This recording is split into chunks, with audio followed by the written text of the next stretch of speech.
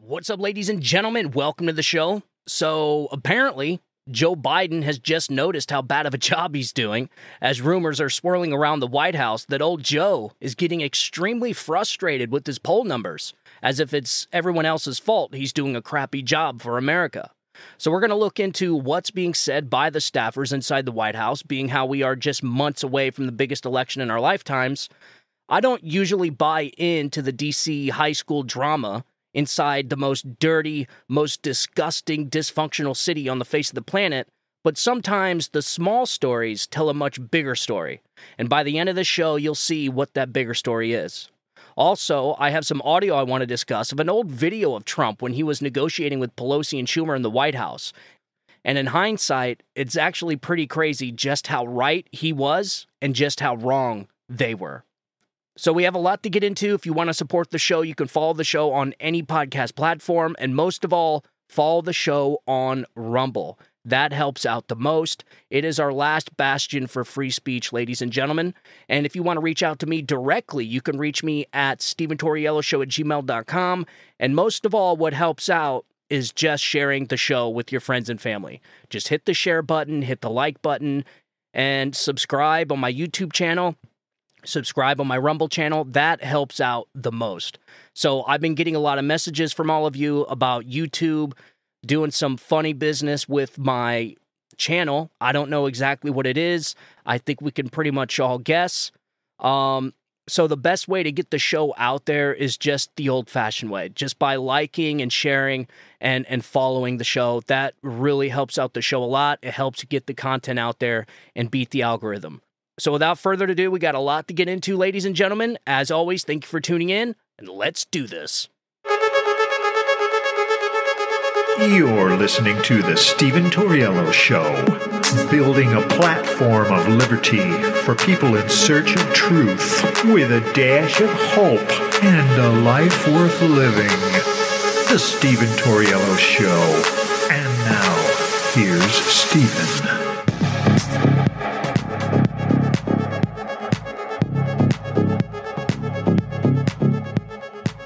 All right, so there was actually a an there was actually a pretty good story. Just real quick, I want to get into it before we start into with the uh, the politics stuff. I wanted to touch base on this science story that I seen. So I have this article. It's actually pretty interesting. So this is from studyfinds.org, Heart Health News. This came out February 25th of this year. And the title of it is Bigger Abs Linked to Heart Disease in Men. oh, God. So there you go, folks. If you're like me, you got a few extra pounds you're carrying around, you don't have a six pack washboard abs, then um, you can actually feel pretty good about it. You may just be in better shape than somebody with abs. That's what this article is saying, apparently. So, big abs could spell bad news for a man's health. Body composition, which is typically defined as the amount of fat, bone, and muscle in the body, is a concept frequently used by health professionals in relation to heart health. However, researchers from the University of California, San Diego are challenging this, suggesting that more muscle doesn't automatically mean a lower risk of heart problems. Britta Larsen, the PhD, explains that men with larger abdominal muscle area have a greater risk of heart disease. As far as muscle density goes, the prognosis is much different. Men with the densest muscle within the abdominal cavity had nearly one quarter of the risk of heart disease later in life. Quote, and the other really important thing to note is that we didn't find this with women. It was just in men, said Dr. Larsen. The study's lead author and associate professor in the UC San Diego Herbert Wertheim School of Public Health and Human Longevity Science, my God, that was a mouthful, in a, in a media release said the data comes from computed tomography of participants in the National Institutes of Health multi ethnic study of, oh my God, I can't even pronounce some of this stuff, man. The team found that the large muscle group's heart disease risk was nearly six times higher than the group of men with the smallest abdominal muscle area. The team wasn't expecting to see such a strong correlation between increased muscle area and coronary heart disease. So there you go. For all my uh, for all my fellow for all my fellow fatties out there that are carrying on a few uh, that are carrying a few extra pounds, now you don't have to feel so bad. So there you go. maybe well maybe there is some hope for us after all. so um I've never had abs. Like I've never in my entire life have I have I had abs. You know, I was pretty fit when I was younger. I wouldn't say I was, you know, I I always kind of struggled with my weight. My weight fluctuated a lot as I was growing up. Um I just had a really slow metabolism and no matter what. I mean, but there were a few times in my life to where I was pretty cut and fit, but I never had abs. So I don't know. Maybe that's a good thing. Maybe it's a bad thing. It's certainly, uh, the science is certainly starting to point that direction. All right. So to get into the latest news and culture and politics. So, what is going on with Joe Biden? It seems as if Joe Biden is starting to freak out on his staffers inside the White House because he sucks at running the country. So here is an article from NBC News. This this just came out yesterday. Hat tip to Peter Nicholas. And it's titled Behind the Scenes, Biden has grown angry and anxious about re-election effort. Huh. Biden locked up the Democratic nomination last week, but looking ahead to the general election, anxiety has seemed to increase. Well, duh. I mean, have you looked around?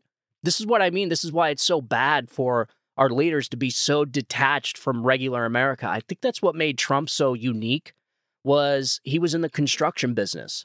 So you actually had a multi-billionaire that could relate to the everyday working man, which is listen, that's that's extremely rare. A lot of these guys, a lot of these people, these multi-billionaires, they live completely different lifestyles than we do. But for some reason, Donald Trump managed to stay connected to the working middle class America, which is probably what makes him so likable by millions of people. I mean, people voted for Donald Trump 130 million times. That's a lot. That's a lot, folks. You think about it, he got what, 64 one election, then he got 75 the next election. You know, give some, you know, give or take, you know, you're looking at 130 million times people voted for him. That's pretty insane. Um, which is more than I can say for Joe Biden. This guy is a human pandemic. This guy's a walking disaster. And what pisses me off the most is everybody warned that Joe Biden was going to be a bad president. And what sucks is, you know, weeks and months going into the election, we tried warning everybody. I know I certainly did. I was like, look, Joe Biden is not worth the destruction of our country. Like, and, and I remember, I so wish I can go back and find the message that I wrote. I actually tried the other day, but maybe I just didn't look hard enough.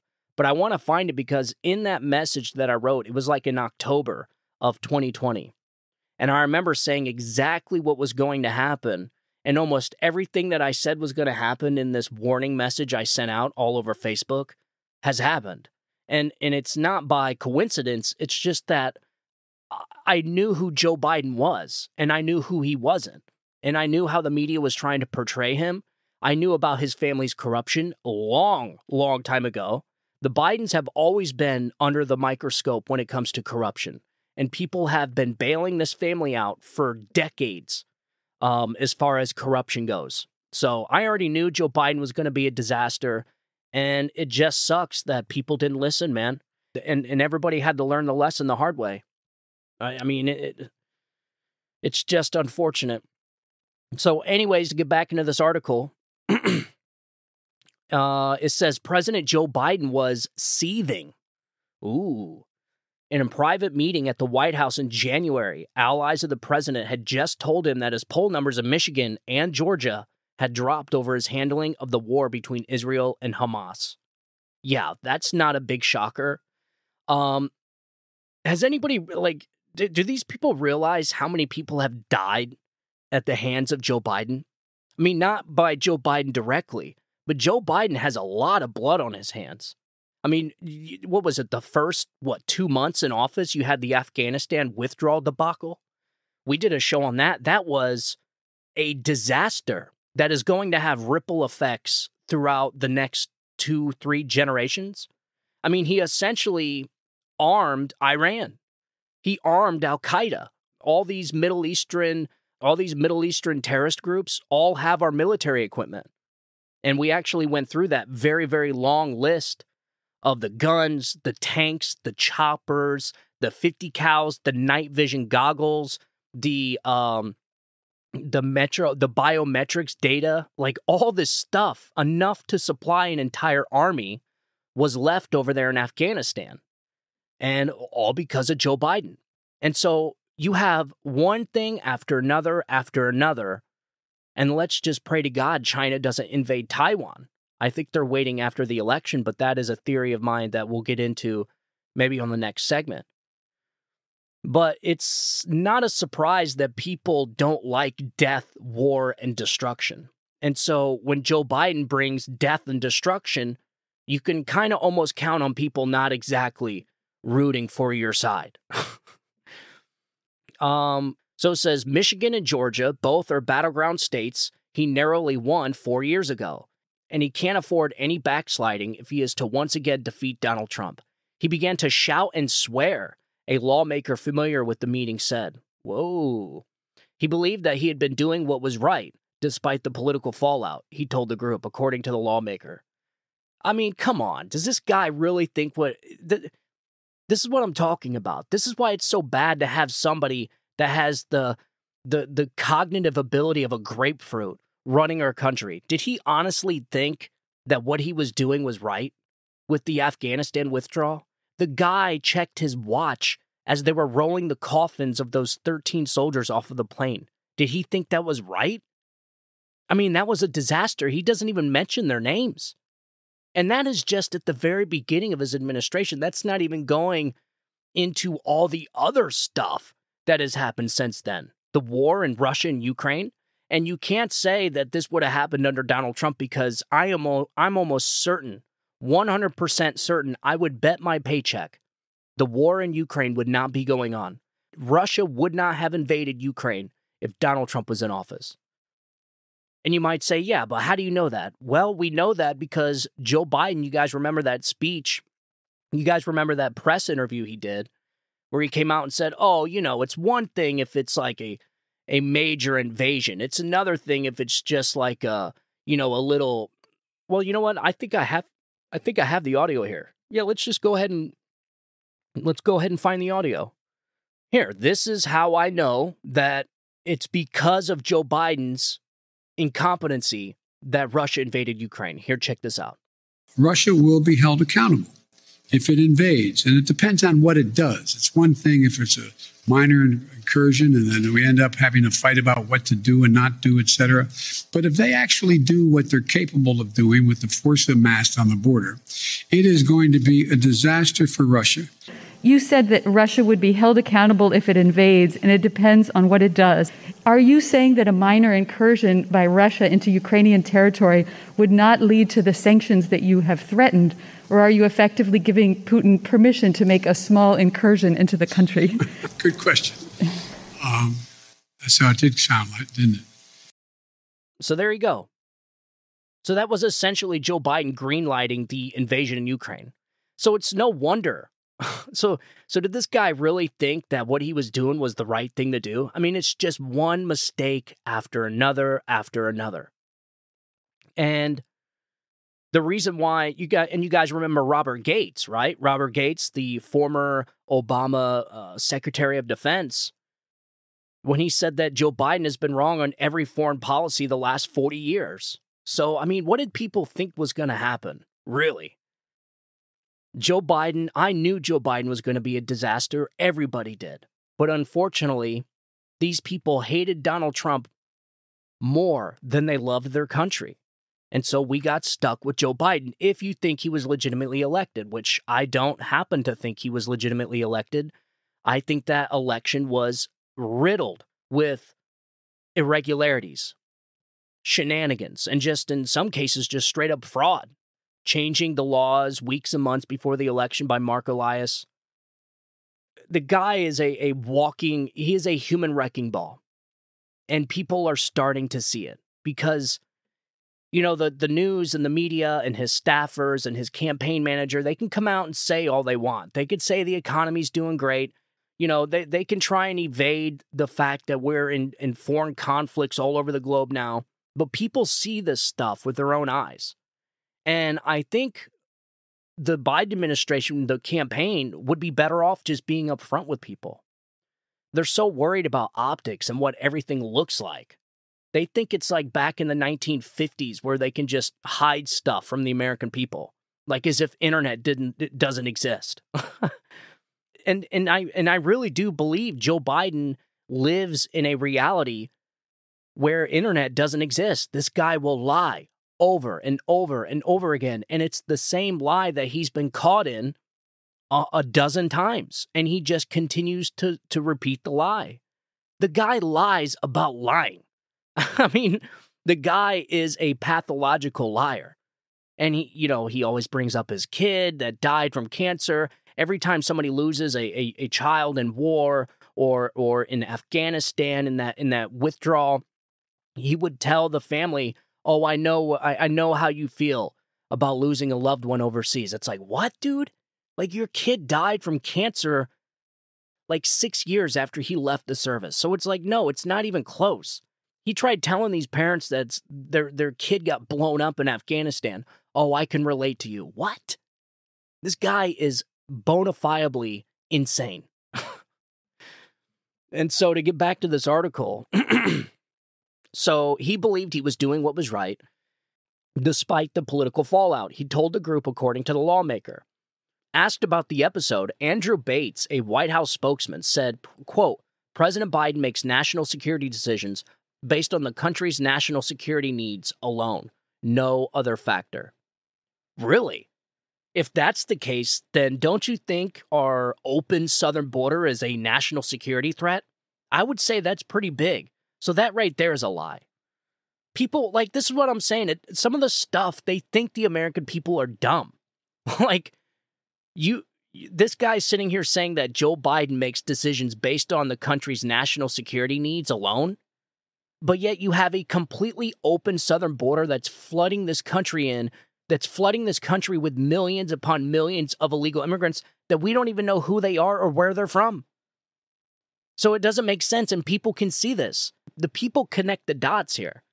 It's like, well, that can't be true because he has an open southern border. If Joe Biden was truly concerned about our nation's security, he would seal up that southern border, knowing that there's terrorist threats coming in through the southern border. We know this for a fact. Okay? It's it is a fact now that terrorists, okay, people on the terror watch list, people that want to hurt this country, are being let in, are coming in through the southern border. This is a fact. Chris Wray at the FBI has said this over and over again, just as like a CYA. Like, oh, yes, we are starting to see some heavy terrorist activity at the southern border. And he's only saying that because he wants to cover his own ass. He wants to do the old CYA so that if something happens, he can be like, hey, I told you. I told you so. And so Joe Biden is not making decisions based off the nation's security. No. All right, so for months, Democrats have watched the 2024 campaign unfold with rising alarm as the sitting president struggles to gain ground against his defeated predecessor. Frustrations rippling through the party have reached the top, with Biden at times second guessing travel decisions and communication strategies that have left much of the electorate clueless about his record. Interviews with nearly 20 lawmakers, present and past administration officials, and Biden allies show. The starting gun for the general election campaign fired last week as Biden wrapped up the Democratic nomination.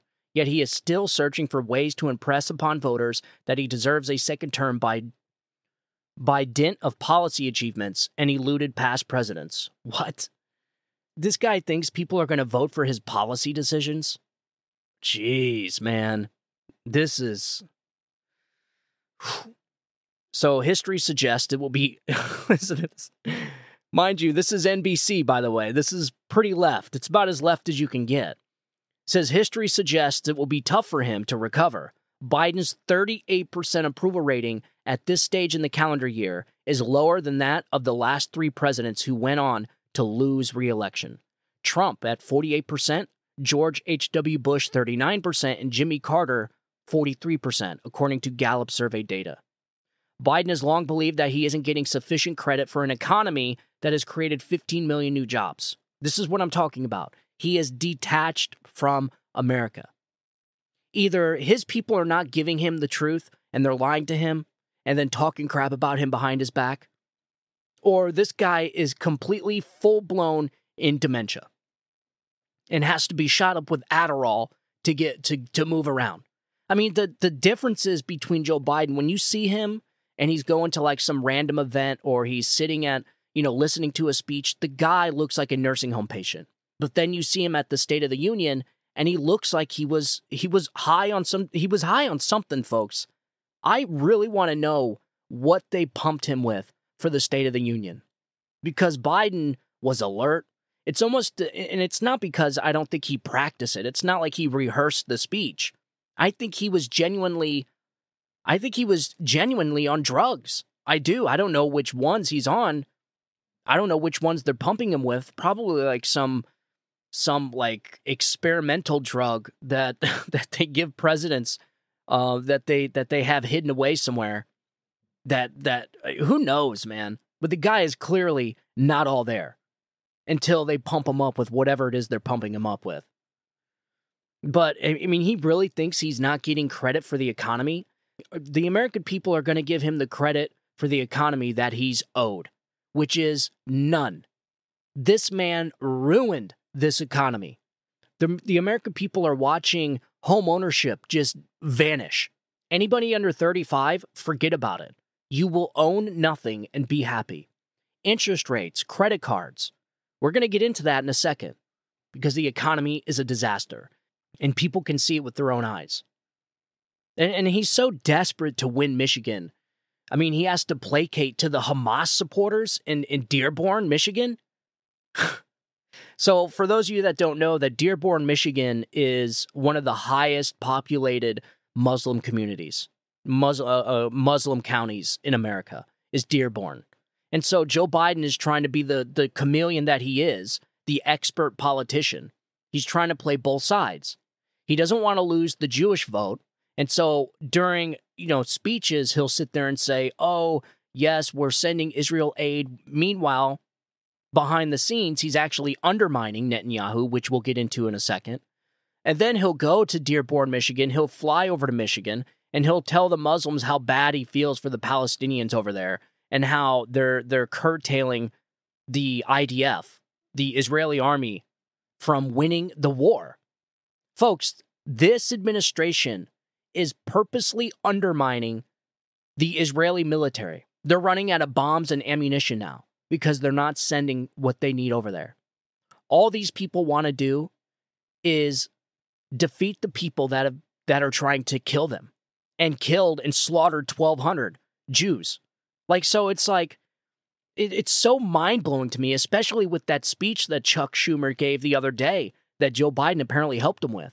It's so shocking to me that we have this administration, America, is undermining Israel, is preventing Israel from beating their enemy that just slaughtered 1,200 of their people.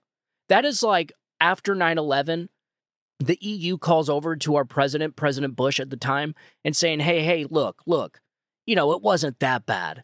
Maybe you shouldn't go over there and, you know, get revenge. Maybe maybe it's time for you just kind of to settle down. Like this is what we're dealing with. This is what this administration is doing. They're undermining Israel's ability to defeat Hamas, a terrorist group that slaughtered 1200 of their people.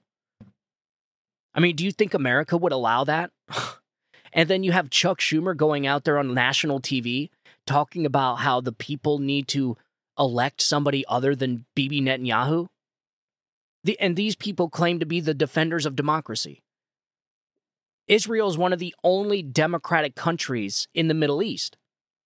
I think it is the only democratic country in the Middle East. It is our ally, our, our number one ally, Israel, where the, the, the, the heart and soul of Christianity and Catholicism, you know, the, the religion this country was founded on, that's all of our history over there.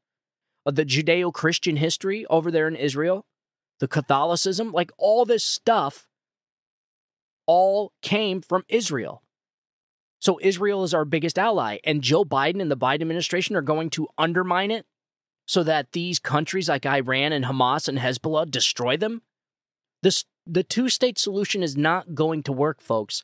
All it's going to do, it's going to give a permanent residence for Hamas to to just pick off Jews one by one and you'll see events like October 7th happening over and over and over again. It'll give Hamas legitimacy. It'll give them a country is essentially what they're. What they're asking Israel to do is forfeit a huge portion of their country and give it to Palestinians and Hamas and all the all the uh, and all the terrorist groups that lie within it. And so all you're going to have is October 7th over and over and over again, probably every year. No, man, no. Israel needs to wipe Hamas off the map. Get rid of them. And they are on the brink of doing it too. They're they are they are a couple weeks away. They got them cornered in one little city, one little section of of Gaza. And this administration is undermining them and, and threatening them that if you go through with wiping the rest of these Hamas leaders out, we are not going to support you. What? It's nuts what's going on. And this is what Biden tells Dearborn, Michigan. This is what Joe Biden tells the Palestinians in Dearborn, Michigan. And he's trying to play both sides. But I guarantee you, the Jewish people can see right through this stuff, man. Right through it. So here is an article from Fox News. This just came out about nine hours ago. It says Benjamin Netanyahu blasts Chuck Schumer and Biden over the waning support for Israel. Quote, focus should be bringing down Hamas. I agree. And so it says Israel Prime Minister Benjamin Netanyahu issued a sharp rebuttal against Senator Chuck Schumer, who called for new leadership in the Jewish state. Quote, I think Schumer's statements are wholly inappropriate. I think we're not a banana republic. the people of Israel will choose when they'll when they have elections and it's not something that will be foisted upon us, Netanyahu said on Fox and Friends on Sunday. Senate Majority Leader Chuck Schumer, Democrat from New York, called on Israel to elect a new prime minister to replace Benjamin Netanyahu in order to move towards a lasting peace between Israelis and Palestinians in the form of a two state solution.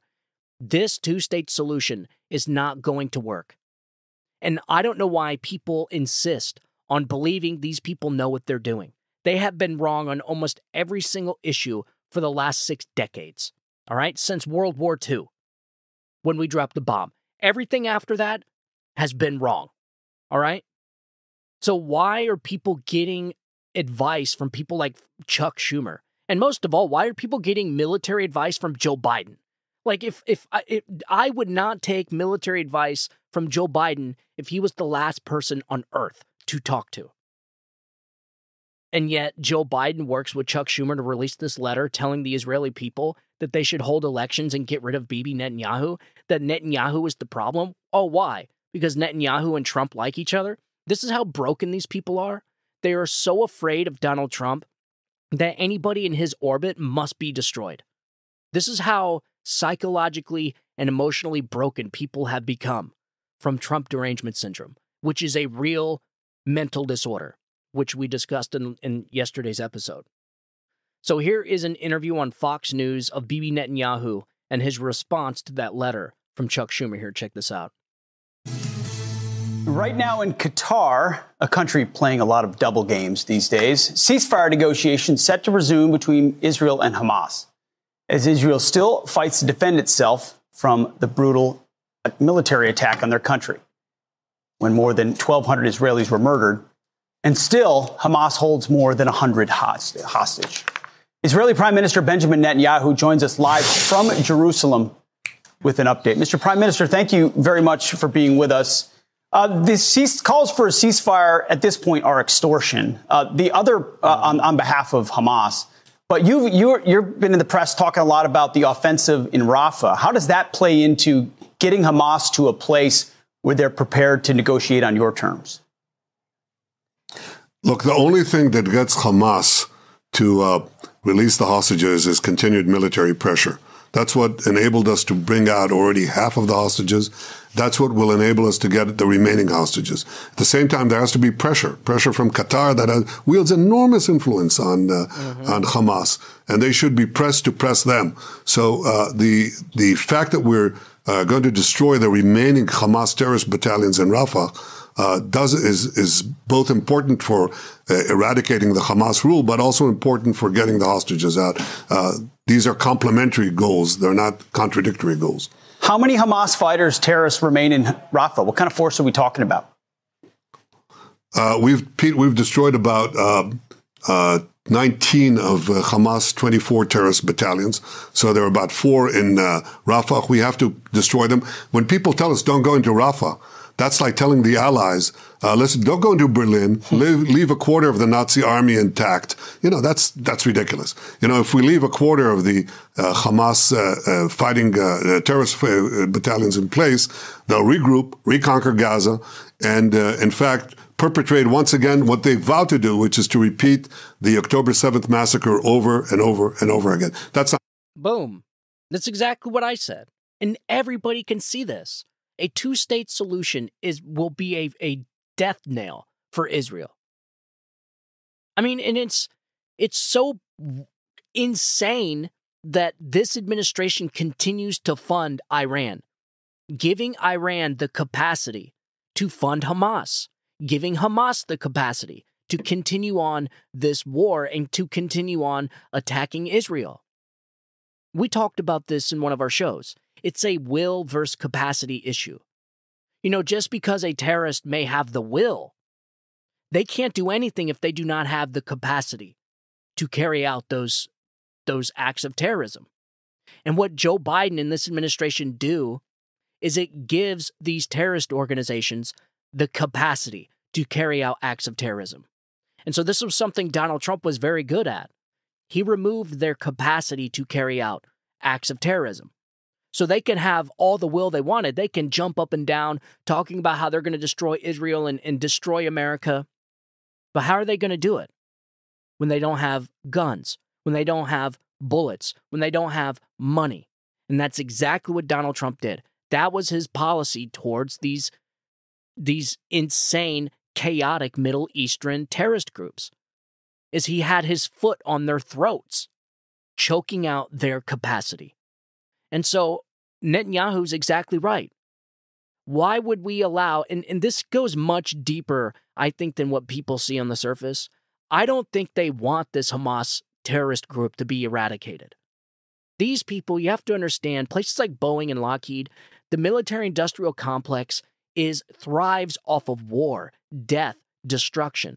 When there's no war, there's no guns firing. When there's no guns firing or missiles going off, that means these people aren't selling guns and missiles, which means they can't keep the lights on. The only way they can keep the lights on is if they're selling guns and bullets. That's it.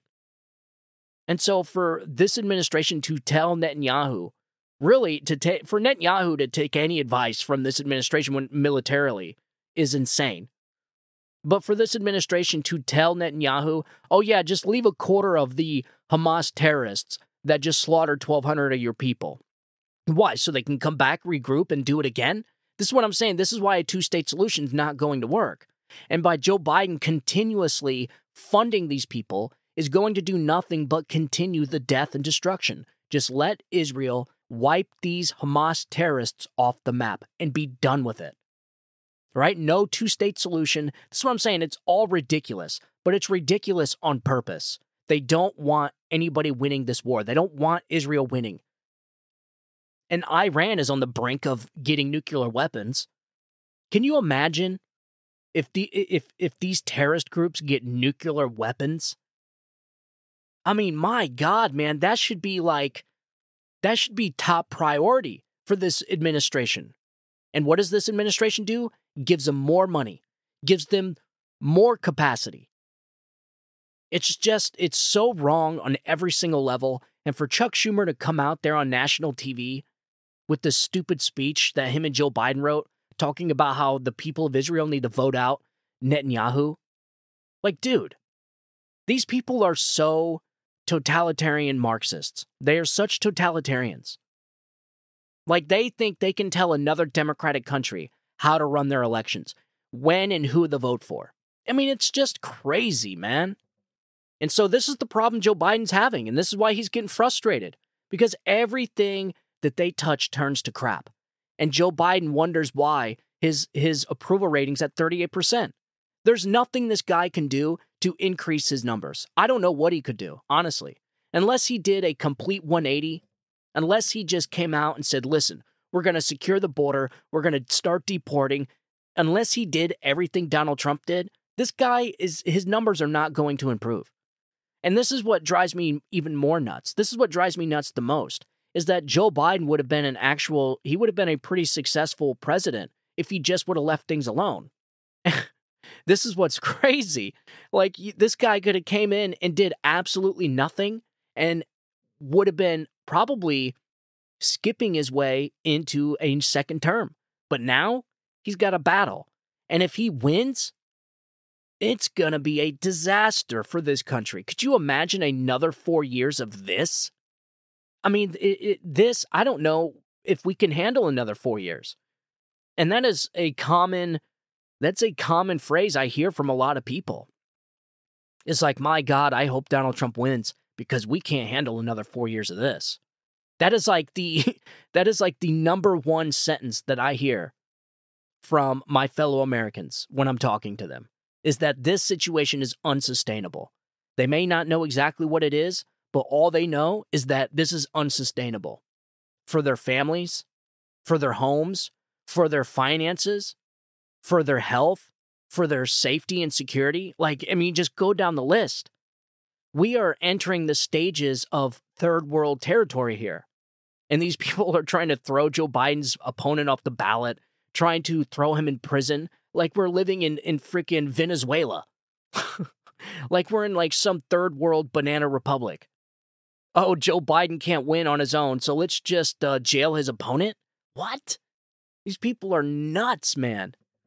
Totally nuts. And what's crazy is that the Democratic Party, the Democratic Party supports it.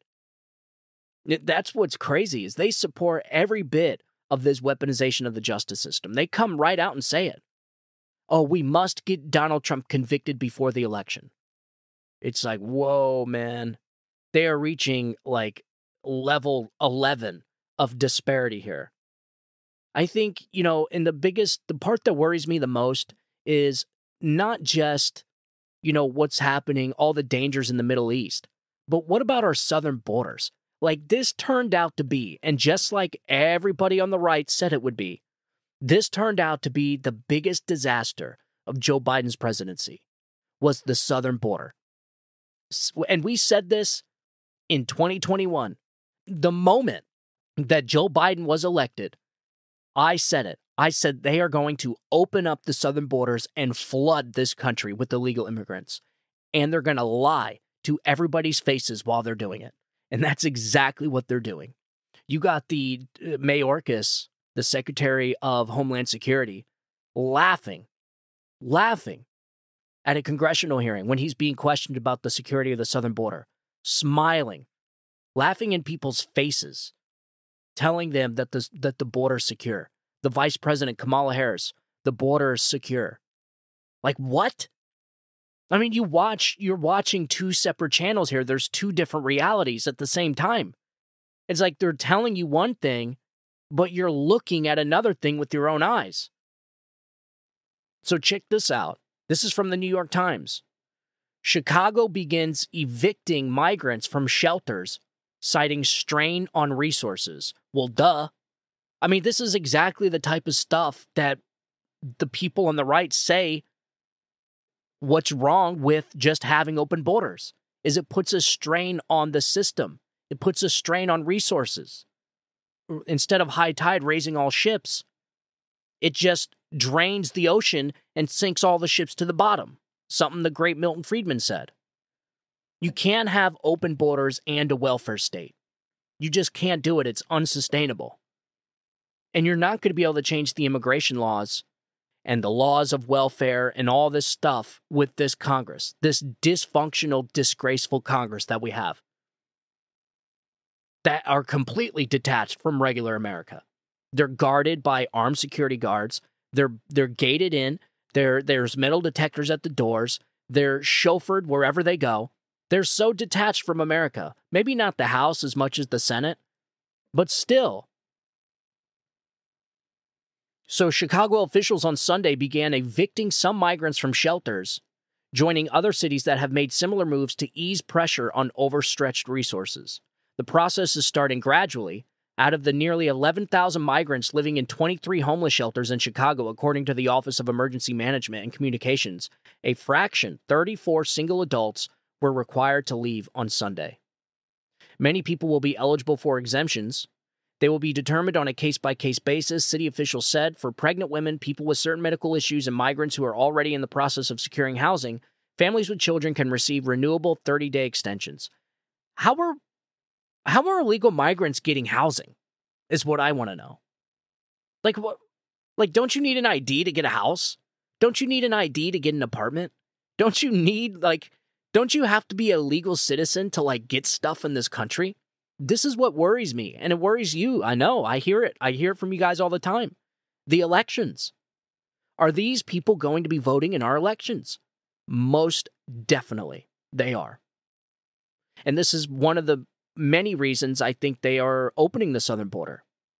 Is it's not just the elections per se. I mean, even if they even if none of them voted in this election, they're still adding seats to the congressional districts, which means because they have to be counted on the census. Remember, that was a big battle Donald Trump tried fighting. He didn't want illegal immigrants being included onto the census. And the census is used to draw up district lines, to draw up district lines and to add seats to the House of Representatives.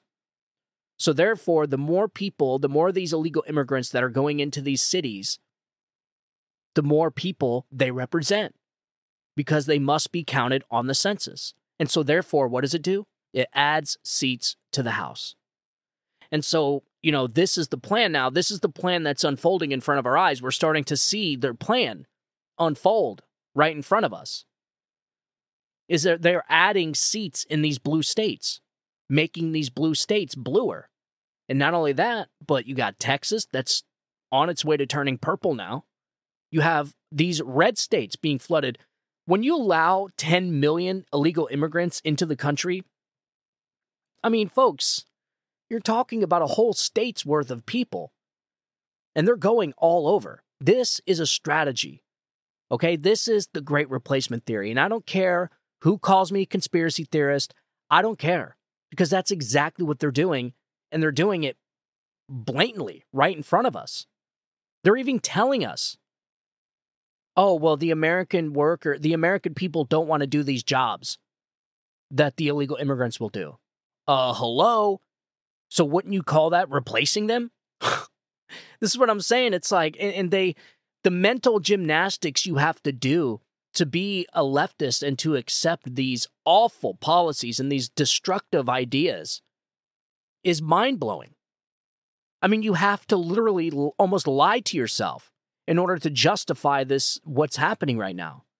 And so you read into these articles, like from the New York Times, when they're talking about nearly 11,000 migrants living in 23 homeless shelters. So, what happened to the homeless people that were already there? Are you telling me that these homeless shelters were empty? So, you mean homeless Americans are being kicked out on the street and being what, replaced with illegal immigrants in these homeless shelters? But officials said that more than 2,000 people would be evicted by the end of April, and many families with children may be forced to exit the shelter network altogether by the summer. Backed by an army of volunteers, Chicago and other cities have found shelter for migrants, enrolled, in their, enrolled their children in schools, provided food assistance, and helped workshops to help them fill out paperwork to apply for work permits. My God, folks. So ultimately, who's suffering? So all these kids now have to go into the schools how is this possible? How are these schools going to be able to take on all these extra kids that don't speak English? I mean, this is th- this is why we always say it all the time.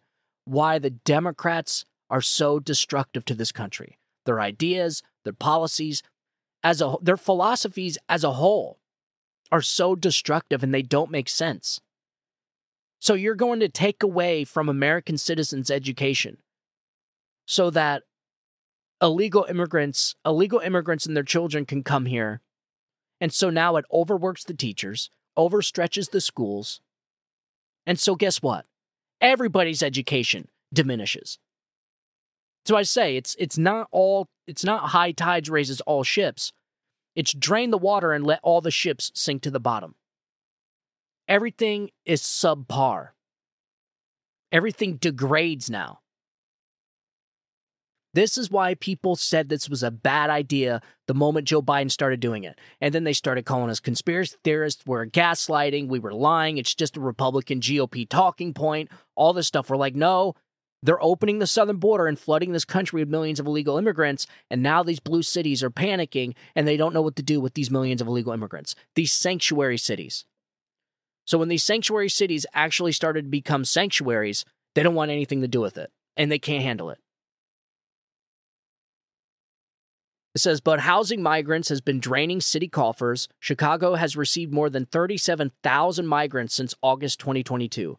Overall, in the past year, hundreds of thousands of migrants have ended up in large cities. The evictions are placing even more pressure on the volunteers as they scramble to fill the void. Many of them said they have grave concerns about the impact, particularly when they begin to apply to apply to families. There is a lot of fear there will be people in the streets, said Annie Gomberg, whose volunteer group People's Shelter Response has been assisting migrant families in Chicago. For families in the shelters, there was confusion and worry as news spread of the policy. A Venezuelan migrant named Nellie, who declined to share her last name for the fear of retribution, said that her family's allotted time in the shelter would expire March 19th. Quote, the social worker said that there was no extension order and that they were waiting for the actual day to arrive to find out what happened, she said. So there you go. So now these sanctuary cities are having to figure out what to do with all these illegal migrants and that was only 37,000.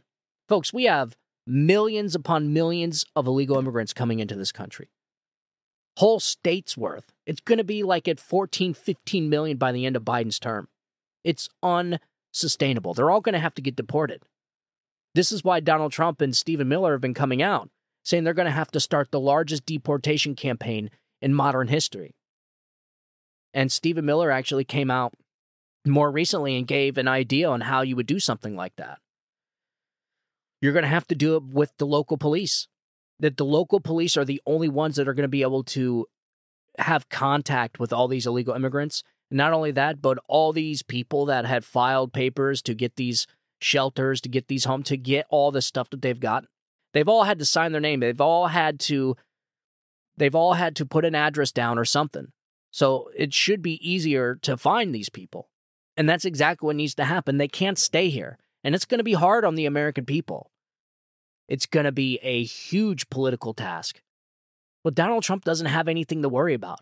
He's done after this term. And so, if anybody's going to be able to do it, it's Donald Trump. Ron DeSantis wouldn't be able to do this this term. He'd be too worried about getting reelected. The, these people are going to have to be deported, period. It's unsustainable. They're going to have to be deported and then come in the legal way. And I get that migrant I get that the immigration policies have to change. I get it. It is entirely way too hard for people to get citizenship for this country. I know a few people that went through the process and it's it's long, it's expensive, it's hard to do. But that's that's kind of part of the deal. That's what makes it so great. I have one of I have a buddy of mine, his name is Sergio. He comes from he comes from Serbia. And he says the day he became an American citizen was the happiest day of his life. He came here with literally nothing. He, he got it. He left everything behind. And he's so happy as an American citizen, so proud. And even he sees what is happening here. And it hurts his heart, man. It breaks his heart that he sees this country going down the road that it's going down. And then you see all these people from like Cuba you see all these people from third world countries. They're like, whoa, whoa, whoa. It's like we just left this stuff, man. And you and you got this place looking exactly like the place we just left. You see it all the time. You see these people from Cuba speaking out. Like this place is turning into a banana republic. What what what they're doing to Donald Trump. What they're doing to to their political opponents. What they're doing with the spending. The spending is what it is. And they're getting ready to spend even more money which is going to cause even more inflation. These people, I think they're, it's just all broken, folks. That's what it is. The whole system is just broken. The two party system, the election process is broken, our immigration process is broken, our justice system is broken. And I hate to say it, but Republicans are part of that destruction too. They're the ones that keep signing for it. These people are getting ready to pass another spending bill that doesn't cut spending, but adds spending. So, what makes them any different than Democrats? People should be just as upset with Republicans as they are with Democrats because they keep funding it. They have the power of the purse, they have all the negotiating leverage. You guys remember Donald Trump? He wouldn't take this crap. He wouldn't take this crap. Actually, and I have and that's and that is a perfect segue into this final video I told you I was going to play. This old video where Donald Trump was negotiating with Nancy Pelosi and Chuck Schumer in the White House about shutting down the government if he didn't get a southern border. Here, check this out. We did win Let me say North this. Dakota. This is the most unfortunate thing. We came in here in good faith, uh, and, and Sure you did. And we're entering into a, a this kind of a, a discussion in the public view. But it's not bad, Let, let us no, uh, no, It's but called it- I- transparency. I, I know it's not transparency when we're it's called transparency. Well, I don't know if Donald Trump knew this, and I'm sure he did, but these people hate transparency. This is why they hated Donald Trump, is because he made these people negotiate on camera inside the White House for everybody to see. Normally, these these awful, fake, phony scumbags, these politicians, would negotiate these type of deals behind closed doors for the people, so the people couldn't see. And this is why they hate Donald Trump so much, because he exposed their corruption. That's why. Not stipulating to a set of facts, and when we wanted to have a debate with you about saying we confront some of those facts without You know saying what? to the We need public, border security. this That's isn't what we're going to be talking about, border security. If we don't have border security, we'll shut down the government. This country needs border security. God, man, this guy was great. This man was the people's champion. And that's exactly what I titled this video.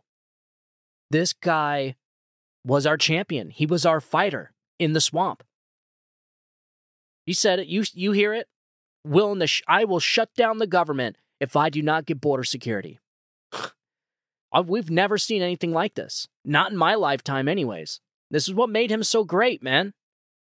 The wall is a part of border security. Let's have a talk. We're going to get the wall built, and we've done a lot of wall already. It's a big section. It's a big. Chuck Schumer looks like an evil villain, just sitting there smiling. This guy is awful, man. I can't. So awful. Nancy's awful. Both of these people need to get the hell out of politics, get the hell out of Congress, and just go freaking retire somewhere. My God. Like, what, what would possess these people to stay in politics other than just being corrupt, just fake, phony, just scumbags, just corrupt, crusty, old geezards that want to cling on to power. It doesn't make sense.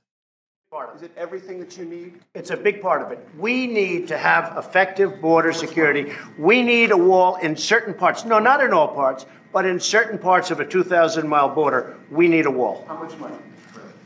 How much money, they said. How much money? We are doing it much under budget. We're actually way under budget on the areas that we've renovated and areas that we've built. Uh, I would say if we got if we got five billion dollars, we could do a tremendous chunk of wall. $5 billion, folks. You guys remember this conversation, right? They said, oh my God, their hair, their heads exploded when he said we need $5 billion. And I think it was 40 billion total. But he needed $5 billion to just finish the important sections of the wall that the Border Patrol requested because that's what would help out the most. The whole thing that walls don't work, what a stupid, stupid talking point. Almost as dumb as defund the police, but I digress. But $5 billion, folks. Er, This was an article from the National Review. Border crisis costs American taxpayers $451 billion annually. House GOP report claims. Imagine that, folks. The guy was asking for $5 billion to secure important sections of our southern border. $5 billion. And now, because because Joe Biden stopped construction on the border wall his first week in office, now the American taxpayer is paying $451 billion a year. Hmm, which one would you rather pay? I don't know. It's kind of difficult. 5 billion? mm, to get a border wall or no border wall and pay $451 billion? I don't know. That's a tough one. I mean, come on, man. This is why all this stuff is purposeful. These people don't care about $5 billion. These people, $5 billion is nothing. Joe Biden just released a spending package of $7 trillion. I don't know how many zeros that is, but it's a lot. I mean, we're talking about numbers so big, we don't even, we, our brains can't even comprehend the size of, like, the, the size and scope of $7 trillion. Like, it would fill up NFL football stadiums with cash. That is insane amount of money. Fill up a football stadium with cash? That's your spending package? And we're supposed to just go along with this? And Donald Trump wanted $5 billion to build a wall at the southern border? And I'm telling you right now, if they were to allow him to build that wall at the southern border, this border crisis would not be happening. So that must mean that they wanted this to happen. They did not want a border wall because they wanted to open the southern borders when Democrats got power. I mean, it, that's it. This is their game plan. It is, and, and I'm so, like I said, I'm so tired of being called conspiracy theorists when, uh, like, every time these conspiracy theories just turn into conspiracies six months down the road. Like, this is happening. The great replacement theory, we're, the American people are being replaced now with new voters, new constituents, people that won't complain, people that don't know our history, people that don't that people that don't want to assimilate. Anyways, we'll go back into this back into the uh, back into the video here. This is a I think have the well. This isn't a question. This is a national emergency. Drugs are pouring into our country. A flood of drugs coming into this country at the U.S. Mexico border. Record amounts of opioids, and along with them, deadly consequences. People with tremendous medical difficulty and medical problems are pouring in, and in many. Yeah, medical problems. So here is a article from CBS in Chicago 2 days ago. Chicago steps up vaccinations amid measles outbreak tied to migrant shelter. Hmm. So Chicago is ramping up vaccination efforts amid growing concerns over measles as the number of confirmed cases continues to rise.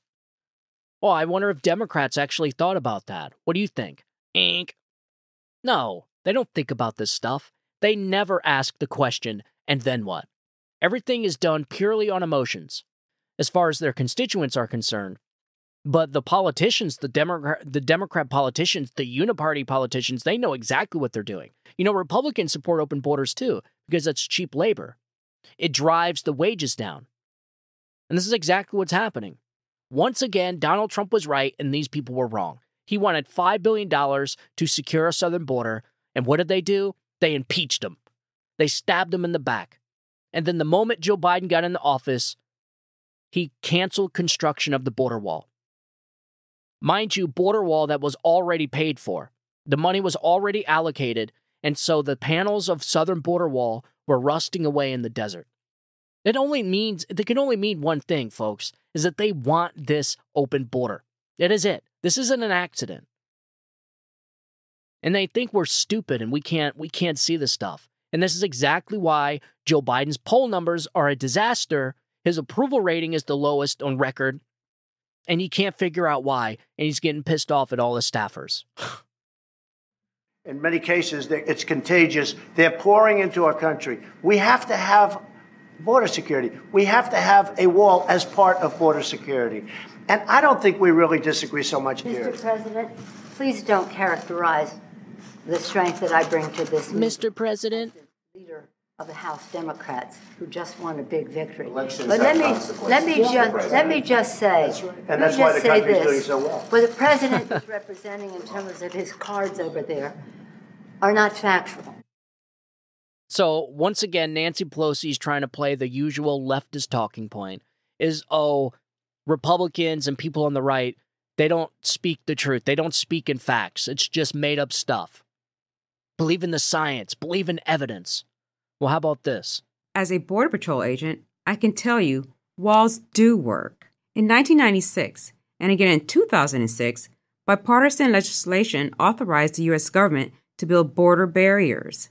And once built, the barriers made a world of difference. By 2010, apprehensions in San Diego have fallen from half a million to just 68,000, an 87% reduction.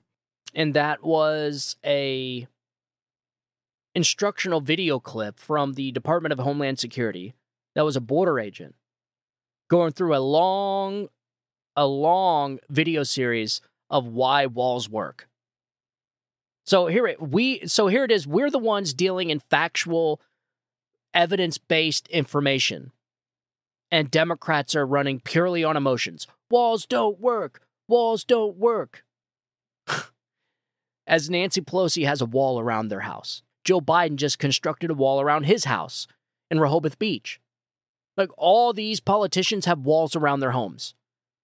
But yet the American people can't get a wall on their southern border and we must be flooded with millions of millions of illegal immigrants They're going into the schools, taking up the resources because they're not doing it legally, folks. This is like, I don't have a problem with legal immigrants.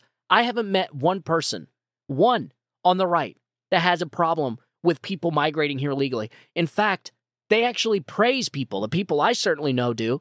They respect those people for coming here the right way. They admire them, actually, because it was difficult for them to do it. So I've never met anybody that doesn't like or that, that hates legal immigrants. But this is the problem. This is the separation from Democrats and reality. They're like they don't ask themselves. No, there is a difference between legal immigration and illegal immigration. They don't see that difference. They don't see the separation.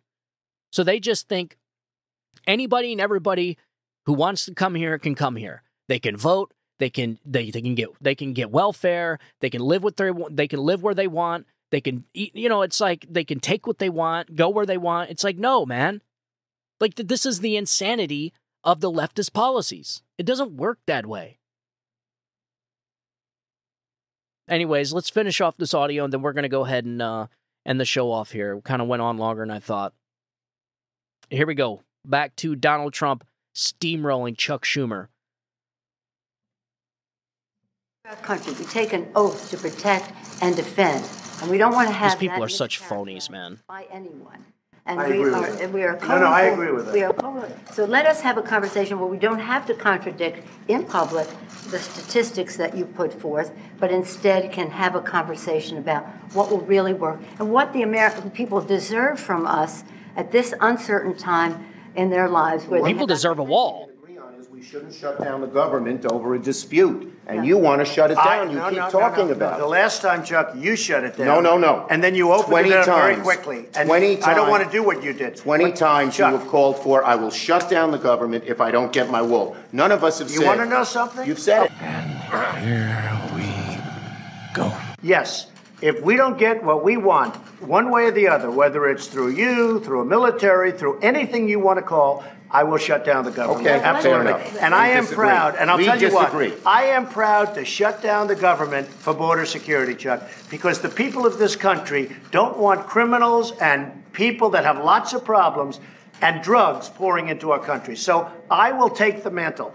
I will be the one to shut it down. I'm not going to blame you for it. The last time you shut it down, it didn't work. I will take the mantle of shutting down. That is and I'm going to shut it down for border But we security. believe you shouldn't shut it down. But you, the Thank you very much, everybody. Man, was that refreshing. Was that not refreshing? I mean, for once, the people had a seat at the table. And they had a champion fighting for them in the swamp. It was such a good feeling to see this guy in there fighting on behalf of the American people. Seal up this border, or we're shutting it down. We're shut the whole damn thing down if we don't get security at the southern border. We don't see that now. This is why people they look back at Donald Trump's administration. And I think honestly, I think people at the time, you know, during the campaign of 2020, I think people just took I think people just took Donald Trump's administration and his successful policies and how good this country was doing. I think people took it for granted. I think it was so good they just wanted to like use Donald Trump to get us into a good spot and just kind of kick him to the curb like some kind of Greek tragedy. And it, Donald Trump may end up being a Greek tragedy. I don't know. Which is just, you know, Greek tragedy is somebody that, you know, history will show did an amazing thing and ended up being a true leader, a true historical figure that benefited the people and will be talked about for for centuries. But yet ended up ending in like a, a tragic kind of thing. Like, you know, um, it ended up, you know, in, in Donald Trump's case, ended up leaving this earth a very hated person. Like that's a that would be considered, I think, a Greek tragedy. I, I'm paraphrasing. I don't know exactly what the definition is, but that's that's what I think a Greek tragedy would mean. And Donald Trump may be. But I guarantee you they're going to look back on these days and they're going to say, wow, this guy was a grade A leader. They're going to look at videos and negotiations like that and they're going to say, man, this guy was good. People are going to look up to Donald Trump as what a leader should be. The guy's just a natural born leader. I don't know what else to say. And I, I don't think the left can accept that. I don't think they've ever accepted Donald Trump as a legitimate president because they just hate him so bad. Like they they're jealous, they envy him. They're like they're jealous of him. They and so they they did they never accepted him as a legitimate president. And so therefore he is the exception to everything. He could be indicted. You know, he's a president that can be indicted. He could be charged. He can go to prison. He should be investigated. He should be impeached because he's he because he wasn't a legit president. So who are the threats to democracy? These people are. These people never accepted the election.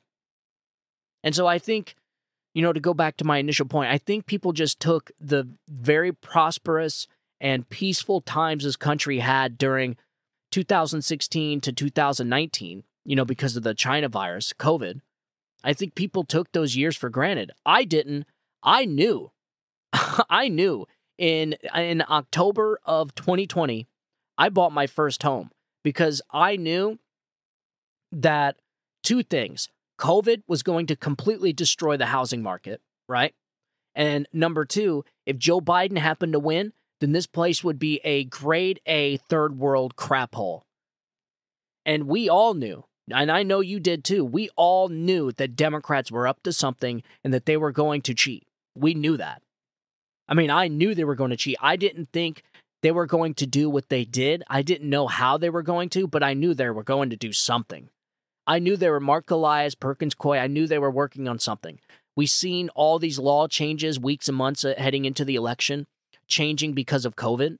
So essentially, they used COVID to change these laws, you know, on the basis of people can't go out to vote. And so all these mail in ballots have to be shipped out to everybody across the country. So while simultaneously mailing out ballots all over the place in everybody's mailbox, they lowered the threshold of signature verification in some of these states so that these ballots, these mail in ballots, the signatures would be accepted more often than not. And we're talking, it was they lowered the threshold a lot. The rejection rate of the 2020 election was like 0.08%, where normally it's like 5%. So they lowered the threshold of rejection rates. I mean, so you could have had people just squiggling their name on a ballot and just shipping it in and just mailing it in or putting it in a Dropbox. This is what happened. And the Trump administration, the Trump campaign was not ready for this. The RNC was a, a freaking disaster, nowhere to be found. And that's why Ronna McDaniel's gone and it's now being overtaken by Laura Trump, which my wife just told me today. It's Lara, not Laura Trump. So she's the co chair of the RNC, already coming out swinging, bringing in lawsuits in the Michigan, bringing in lawsuits in all these key swing states to make sure they don't do it again. The American people have a right to free and fair elections, transparent elections. People have a right to know that their vote counts when they go and vote. Somebody's illegal vote should not cancel out somebody's legal vote, and it should be easier to vote and harder to cheat. I mean, don't these people, like Democrats, don't people on the left ever ask themselves, man, why do Democrats not want voter ID? Why do Democrats want drop boxes? Why do Democrats want younger and younger voting ages? Why do Democrats want all these, you know, restrictions and guardrails that were set up to secure elections? Why don't they want them? Like, do they ever ask themselves that question? It makes perfect sense to me. It's because they want it easier to cheat. They want shenanigans in elections because there's always been shenanigans in our elections. But the difference between then and now is that elections are going to be so close now. I mean, you're talking about this election's going to come down to a few thousand votes in a few in in three or four different swing states. It's going to be neck and neck. And when you're neck and neck in an, an election, every single vote needs to be legal and needs to count. Every single one. The transparency and legitimacy, and most of all, the faith people have that that election was conducted faithfully, that is the most important part.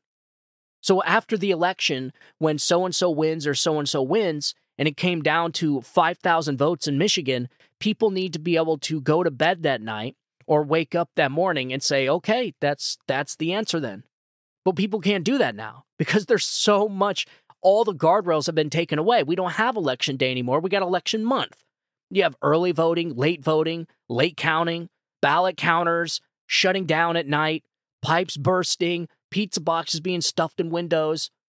You know, uh, uh, what is it? Semi trucks full of ballots just showing up at, at ballot counters, like missing. Whole trucks full of ballots going missing. Affidavits. There was thousands of affidavits signed in these lawsuits that Giuliani took in these courts in Pennsylvania. Were poll watchers actually saying they witnessed fraud. And then people can say, yeah, but there were 61 there were 61 cases brought and Donald Trump lost all of them. Yeah, which case actually went through on merits? Anyone? One? Two? No, none. How about that one? Not one single piece of evidence was allowed to be presented in front of a jury or in front of a judge in all those cases. And see, the left doesn't know this stuff because the media lies to them and they continue to watch it because it makes them feel good. And so, look, we can go on and on. I certainly did. I can go on for hours about this whole disaster we're walking into in this election. But to go back to my original point, unless Joe Biden does a complete 180 with his policies, which he's not going to, then he's his approval numbers are not going to get better. And so therefore, his anxiety, his frustration with his staffers is only going to get worse. And so I wouldn't count out somebody else not jumping in and replacing Joe Biden. I know a lot of people are saying Joe Biden's it. He got the nomination. He's he's in it to lose it. But I, I, just I just don't see how this guy goes into this election with these numbers and Democrats not removing him and replacing him with somebody else like Michelle Obama or somebody. I just don't see it. And so don't don't count out Michelle Obama, guys. I, I don't know if it's for sure, but just don't because right these people are really good at manipulating the public. They're really good at lying. They're really good at tricking and manipulating people. So just be on your toes, stay alert, keep your head on a swivel, and most of all, just go out and vote and bring five, ten people with you. I, I talk about it all the time I, I, with people at work. You know, you got to go out and vote. You got to go out and vote. Like, so anytime someone comes up to me, you know, somebody that, like an independent that's not really into voting, all I can tell them is go vote. That's it. If you want to complain about the economy, you know who's in charge. If you want to complain about the southern border, you know who's in charge. So come election time, go vote. That is it. It is the only way things are going to change. And I'm telling you, we are going to have record breaking votes this year. It is going to be unlike anything we've ever seen. And then you have all these persecutions against Donald Trump, which is something I wanted to get into. Um, with Fani Willis being able to stay on this case. Uh, I got some audio from Jonathan Turley, who's like, "There's no way that this Fani Willis is going to be able to go through with this case with this type of stuff hanging over her shoulder. She's still being investigated by the Georgia Senate. She's being investigated by the Ethics Committee. She has all these people investigating her. And so she's going to be going through all these investigations and these committees while trying to prosecute a former president and a current frontrunner for the GOP, Joe Biden's political rival. no, there's no way. So I got some audio from Jonathan Turley, and that's something I wanted to get into. I've been kind of obsessed with the whole Fani Willis thing because the corruption was just so mind blowingly shocking to me that these people can just be this brazenly corrupt and the judge did not do what he's supposed to do. The law was clear. He should have disqualified both Nathan Wade and Fani Willis, but he didn't because he's up for a reelection coming up. And this is what happens. This is what worries me about these judges. This is why this is what uh, happens when you have a politicized justice system. You have judges and prosecutors worried about elections, and you have judges that make wrong decisions because they fear the mob, the mobocracy, the Democrats. And so, listen, a lot of all this stuff is going to come to the Supreme Court, which was something else I wanted to get into. But we'll get into all this on the next episode. As always, thank you guys for tuning in. I want you guys to have a good Monday, and I hope your week goes well. I will talk to you guys here in a little bit. God bless you, and God bless America. You guys have a good day. Bye bye. Thank you.